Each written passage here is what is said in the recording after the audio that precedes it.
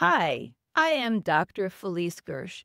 I am an integrative OBGYN physician and I specialize in all things women's health, particularly hormonal issues, and definitely polycystic ovary syndrome, PCOS, the most common endocrine disorder of reproductive aged women, the most common cause of infertility for women. I was asked to discuss a very important topic, and it is how does gut health influence PCOS symptoms and what are the best and most effective ways to address this aspect of care for women with PCOS. Oh my goodness, I've been talking about gut health before anyone in the field of PCOS even understood the gut microbiome. And that is because I was introduced to this topic by my good friend, Professor Kelton Tremellen in Australia, who wrote the first paper back in 2012 on this topic, talking about impaired gut barrier or leaky gut. It turns out that women with PCOS now pretty much universally have what is called leaky gut. It's related to gut microbiome abnormalities, what we call dysbiosis. Dys meaning abnormal, biosis life. So the trillions of microbes that live in the GI tract we call the gut are not actually optimized. You have wrong populations, you have lower diversity, you don't have the right mix of these critically important microbes. And why is that? Well, it's related to the fact that women with PCOS have suboptimal amounts of estradiol, too much testosterone, and that will have a big impact on the gut. In addition, because of the suboptimal amounts of estradiol, the estrogen made by the ovaries, there is a problem with the autonomic nervous system. The autonomic nervous system controls everything we don't think about, which include gut motility, moving things along the gut. So, when you don't have proper gut motility, you are going to develop things like gut dysbiosis, and then you'll have other conditions like what's called irritable bowel syndrome, SIBO, small intestinal bacterial overgrowth, SIFO, small intestinal fungal overgrowth, acid reflux, known as gastroesophageal reflux, and the irritable bowel syndrome can be manifested as cramping, discomfort, and constipation, or diarrhea or a mixed presentation. So these are all huge issues. And the leaky gut forms because you don't have the right microbes combined with our own cells to make a protective mucus coating that keeps the toxic contents of the intestinal tract from touching the gut lining. But without that protective mucus coating, because you don't have the right gut microbes to help produce it, the toxic chemicals made in the gut get right up to the lining cells, cause damage to the little fibers that hold the cells together, called tight junctions. And the cells start to drift apart, and the intestinal contents leak into the body proper. So, what are the consequences of this for women with PCOS? Well, they have increased systemic inflammation because a great deal, in fact, 70 plus percent of the immune system lines the intestinal tract. And when these toxic products called endotoxins pass between the cells into the body proper, these immune cells burst with inflammatory cytokine production, creating systemic levels of inflammation. Now, what happens when you have this inflammation that travels throughout the whole body? Well, it affects the cardiovascular system. Inflammation can damage vascular health. In addition, it can cause an increased risk of neuroinflammation, which can underlie increased levels of anxiety and depression and brain fog and insomnia. And what else? When you have high levels of inflammation, it can increase insulin and insulin resistance. And when you have insulin resistance, you make more insulin, which promotes fat production and storage. So women with PCOS have problems with weight gain and weight loss resistance But it's even more complex than that because when you have leaky gut and you have dysbiosis, you have actual damage to the lining cells. And what's in the lining cells? Well, specialized cells called enteroendocrine cells that make that very now famous peptide called GLP 1. So that is so important for weight control. And the, the little enteroenterocytes actually start being damaged so they don't produce enough glucagon like peptide 1, GLP 1, which is what is in these drugs that are so popular for many women, including PCOS women, like Ozempic and tirzepatide. You know, the brand names like Wegovy and Mounjaro or Zepbound. Okay, so you probably heard some of these. These are naturally made peptides, which women with PCOS, because of their gut dysbiosis and gut microbiome problems, they do not make enough of it because they're damaged cells that make them in the lining. What else? When you have inflammation in the gut and you have the wrong microbial population, you have microbial dysbiosis, it actually communicates with the liver. And these toxins can travel to the liver as well.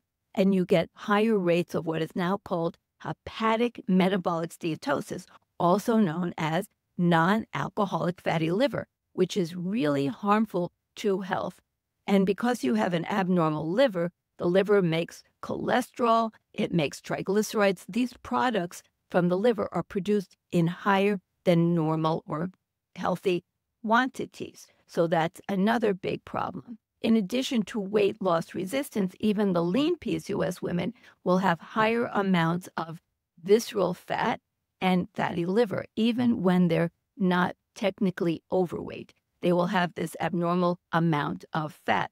In addition, when you don't have the proper gut microbiome and you have autonomic dysregulation, you will have more stress. So you have more sympathetic and less parasympathetic.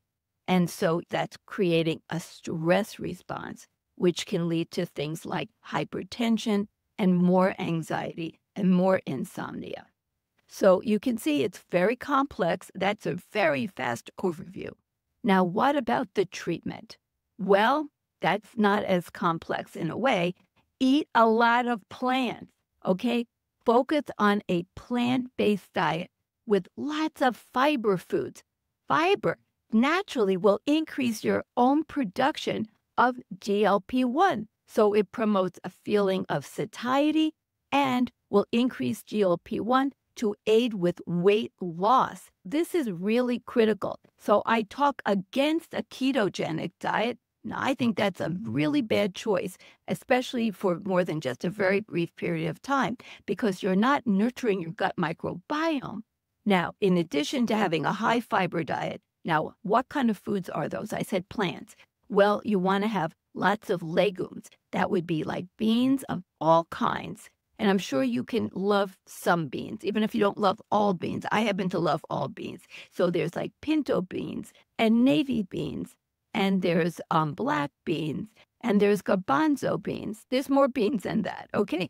There's so many kinds of beans, and you can cook them in so many ways chilies and soups and with other dishes and in salads. I mean, just go to town with beans. And also lentils, another food that is often neglected. I love lentils. They're so tasty. Give them a try.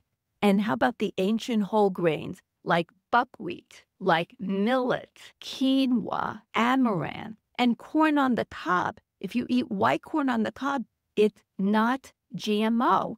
And that is healthy, okay? We're not talking about powdered, fine, you know, like processed grains or grains that look like flakes or little donuts or something. No, these are the ancient grains organic and they actually increase your satiety, they increase GLP 1s, they help you with weight loss, and they do not make your blood sugar go high. Okay? Now, what else is really helpful? Well, I want to make sure you eat lots of different kinds of vegetables root vegetables, green leafy vegetables. Try to have half your vegetables raw, the other half cooked, across all the spectrums. You know, the alliums like garlic and onions. Don't forget asparagus, lots of cruciferous vegetables. That would be like Brussels sprouts and kale, arugula, cauliflower, broccoli, turnips. Okay, so make sure you eat lots of cruciferous vegetables. They're amazing. They also have in them something called sulforaphane that is incredibly antioxidant and an anti-inflammatory. So go to town on all the vegetables. And here's another motto. Don't be afraid of fruit. Okay, fruit is not like eating sugar. We don't want to have any added sugar or high fructose corn syrup. That is not what fruit is like. You can have fruit with every meal. And that is including things that a lot of people think are not good for them, but it is good for you, like watermelon, like cantaloupe like pomegranates, mangoes, papayas, especially green bananas or the less ripe bananas, which are actually resistant starch. Of course, apples and oranges and grapefruits and summer fruits like peaches and plums and pears are wonderful. So go to town. Fruit has so much fiber and so many antioxidants and polyphenols. So don't be afraid of fruit and nuts and seeds. Don't go crazy and eat like pounds of nuts, but nobody can. It has sort of a natural limiting factor. Have you ever tried to eat a lot of walnuts? You just can't. A small handful and you're done. But nuts and seeds are amazing. They have phytoestrogens in them. I didn't even get to talk about it. I don't have all day with you. I'm supposed to make this short. But phytoestrogens, which are in all the natural plant foods, they're like magical for our health and for our gut health in particular. So, you want to eat all the different plant foods that there are vegetables, nuts, seeds, legumes, grains, all these different things are fantastic. And you really don't have to worry about overeating them. You kind of have a natural fullness and it makes you stop. By the way, I love what I call a breakfast salad, all these different things in a giant salad bowl and you'll be full for hours and hours if you have that in the morning. What should you limit? Oh my goodness, I know you know this. Alcohol, uh-huh. ultra processed foods with all those horrible chemicals and high fructose corn syrup and other added sugars.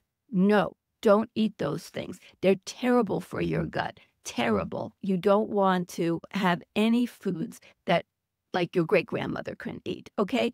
You want to eat natural foods from the earth. If they come from a factory in plastic with lots of different ingredients, don't eat it, okay? Just don't do it. You know, you want to buy fresh, like farm fresh, even if you can't get to the farm, okay? Now, I also want you to do time restricted eating. Like, try to eat most of your food in the morning or the first half of the day when you're most insulin sensitive and your gut motility is most optimized, digestion is optimized, it will cause the least elevation of sugar in your bloodstream. The glucose and insulin will stay lower if you eat more of your food in the morning. Don't snack. Don't eat more than three times a day and eat your dinner early and have it small. Make sure you eat no closer than three hours to bedtime and try to have a 13 hour fast from dinner to breakfast and try to have breakfast by two hours after awakening. When you eat is as critically important for gut health as what you eat. They're all important. As you know, timing is really important. And don't forget probiotic foods, fermented foods. My personal favorite is sauerkraut, but I also like kimchi. Almost any crunchy vegetable can be fermented. Okay? So, fermenting foods and of course, certain supplements can be helpful. Probiotics and supplements that aid gut health, like berberine, which actually is an antimicrobial and also, as you know, helps to regulate glucose. But a lot of that is because it's optimizing gut microbiome health. In addition, L-glutamine is very helpful. DIM, which you've probably heard of, an extract that I mentioned already from cruciferous vegetables, sulforaphane, zinc carnosine, which helps to heal the gut, and another supplement called butyrate, which is a short chain fatty acid, which helps to heal leaky gut. It also makes people feel happier and calmer. I also want to mention animal for just one second. Limit animal proteins. In fact, I recommend vegan for six months, not for life.